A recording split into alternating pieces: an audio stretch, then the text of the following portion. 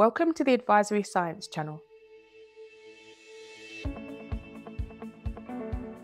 Did you know the fastest growth spurt in our lives happens during puberty? Some people can even grow 10 centimetres in a year. Puberty typically begins in girls between the ages of 8 and 13, and in boys between the ages of 9 and 14. It's a period of rapid physical changes and it includes a growth spurt. It aims to prepare humans to be ready to reproduce and make more humans. The first sign of puberty in females is usually the development of the breasts at around 10 years of age. This is usually followed by the growth of pubic hair and slight deepening of the voice. Periods typically begin at approximately age 12.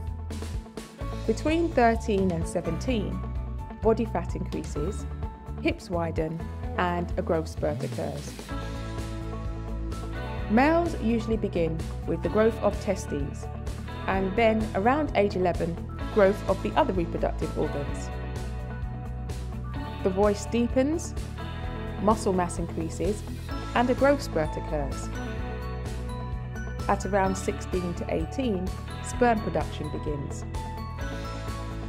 It's important to note that these timelines are just averages. Puberty and its changes can start earlier or later in some individuals. Puberty is controlled by chemicals called hormones. These hormones can also trigger other physical changes.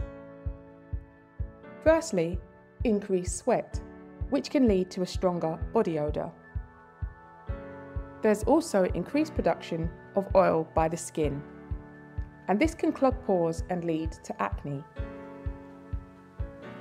Adolescence usually overlaps with puberty, and this lasts until about 20.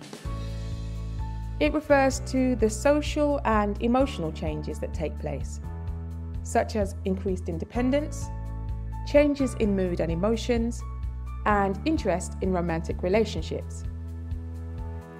So, whilst puberty prepares the body for reproduction, adolescence tends to prepare the mind for adult roles and responsibilities.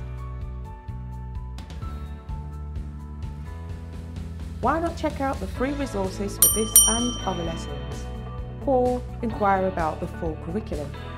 Link in bio.